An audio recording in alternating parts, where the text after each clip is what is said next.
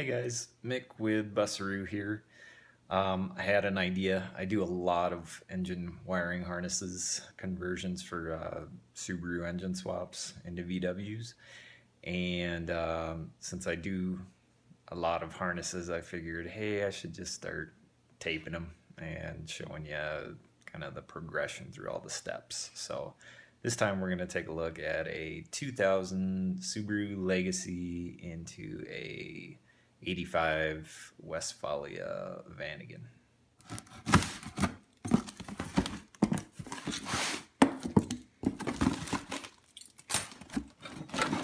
ECU.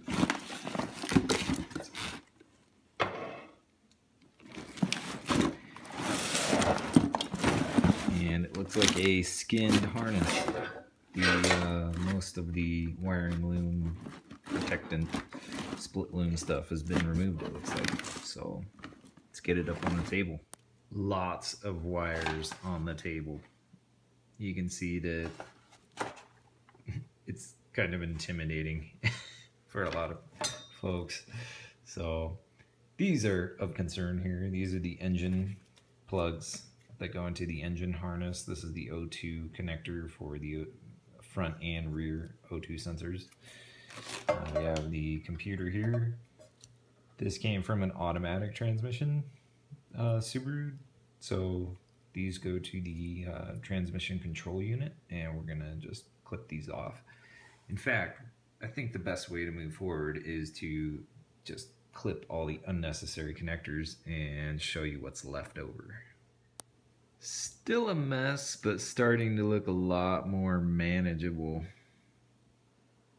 See, here's a box full of connectors and wire that we don't need. All the connectors unnecessary, the unnecessary connectors have been cut. So let's just go through it real quick. So ECU, obviously don't cut those. Um, these little guys are for grounds and power supply. We have a um, test mode connector goes through a ground to the engine connectors here. Uh, also, we have this is in the engine bay. You can tell by this greasy loom protector. And it goes to the starter connector. And we follow this gnarly mass around and all of the wires connectors have been cut except for we have our OBD2 connector, fuel pump relay, main ignition relay, and this is the relay for the blower fan. Um, oftentimes I use this for, uh, uh, I connect it to the Subaru uh, fans. Um, I just splice the wire because it's really common relay. We won't need that on this fan again, but um, I kept it anyway. Now these loose wires, I'm just going to pull out of the harness. Already starting to take shape after removing all the unnecessary loose ends. You can see the harness is much more manageable. So it's still in its same kind of orientation. Computer, test mode, engine connectors,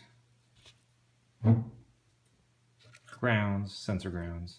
These are the wires we're going to identify later that were attached to the ECU, but to uh, connectors we cut earlier. And the only other thing left, the relays. I took that blower fan relay out. And the OBD2 sensor. So next up, going to identify these guys. All of the wires are now identified. Uh, I've got them in, sorted into a couple groups. Um, these are all tank sensors, so these are for fuel pressure, um, things like that, the drain valve, all that. Right there, that's one group. This little wadded up group, this is for things we're gonna just pull out of the ECU connectors. And we have the items we need to run up to where it's going to connect in the black box in a Vanagon. So you can see it's kind of turning out nicely. a little less intimidating than at first. Uh, when you're going to do your identification, grab yourself a pinout. It looks like kind of like this. It has the connectors and the legend. I'll have a link in the description to the resource page of my website and you'll be able to find it there. Next up, I'm just going to pull these out of the ECU connectors and route these over toward where the engine connectors go.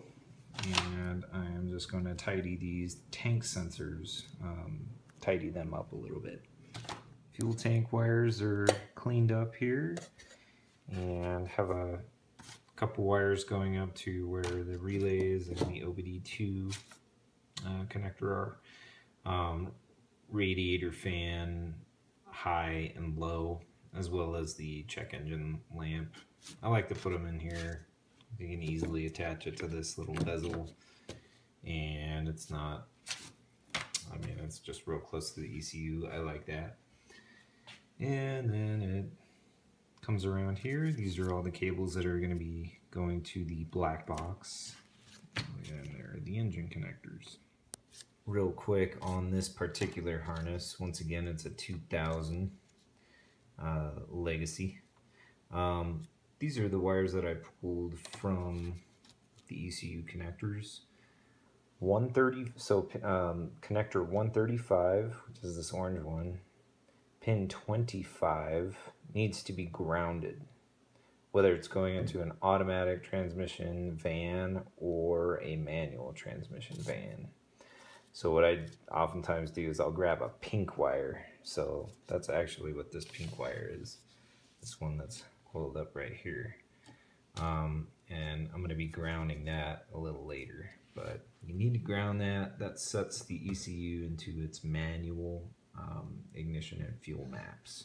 So just take one of the wires that you pulled out that you didn't need anymore and put it into pin one or connector 135 pin 25.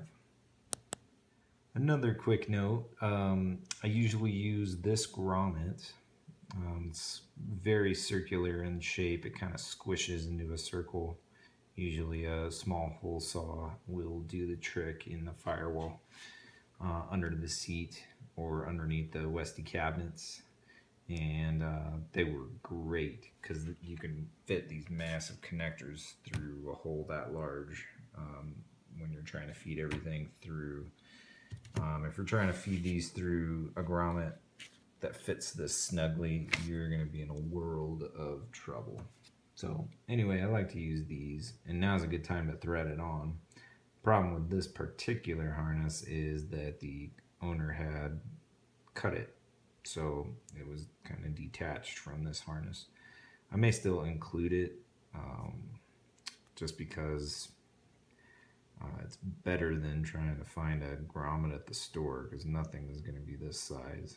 So now that everything is pretty much routed how we want it all to go, uh, we have seven uh, splices that we need to make. So this one near the relays, we have a couple grounds, uh, one for the test mode connector, one for the main ignition relay, this guy, and the pink wire that I spoke of earlier to tell the ECU that it's going to be a manual transmission. And then this is the spare ground wire. It's a black and red that came from another connection further down the line here. So that's one connection. Then we need to splice the battery connections. Funny enough, grounds and battery connections both use black and red. So don't get too confused here. Just make sure you plot everything out. Anyway, this is another connection that needs to be made. One of one of these is going to the black box in the Vanagon.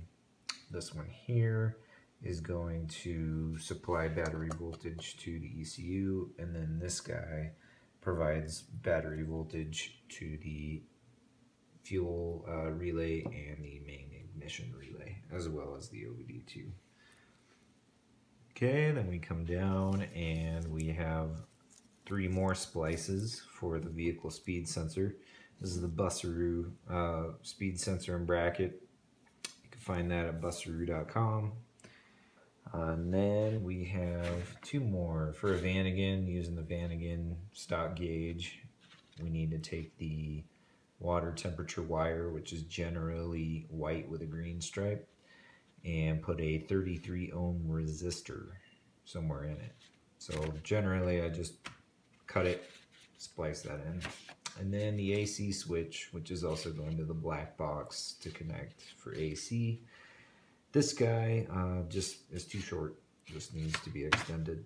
So that's up next. All of the connections are made. And so now we're uh, testing. So I've got the iPad out with OBD Fusion and the Elm 327 reader. We have test mode plugged in and you can hear the fuel pump relay clicking on and off. Right there, we've got it plugged into the um, 12 volt Milwaukee little test pack for my cordless ratchet. So I've got the battery connection right here in this red. Got the uh, ignition on source and we've got the ground. That's really all we need right now. So the fuel pump is connecting to ground and it's also connecting to the fuel pump wire here. This is the VSS and what we're going to do is you can see it kind of triggering right there and it corresponds to this guy right here. I can only generate about 6 miles per hour max so that's what the uh, scale is on this little test rig I have. So this is just a very basic bench test, but it lets us know whether or not the OBD2 functionality is working, VSS, fuel pump, things like that. Taped up at somewhat regular intervals, and then we'll throw the split loom on. Here's the final shot of the main harness. So we have the OBD2, the relays, some of the spare wires. These are for um, your fan relays if you choose to have the Subaru control the fans. Test mode connector, tank uh, wires. You can wire in some relay or uh, some resistors and eliminate some codes. Uh, grommet. We have the starter, uh, I'm sorry, the fuel pump cable here and the VSS. And we have the engine connectors and everything going into the black box. Remember, this is on a Vanagon. So on a bus or a bug, they're all going to be right by the computer. All the access is right there. But on a Vanagon, you swing them out to the black box. So we have like the starter switch, ignition switch, battery, um, AC switch, neutral switch, uh, tach, water temp, and oil pressure switch. So now let's take a look at the alternator harness.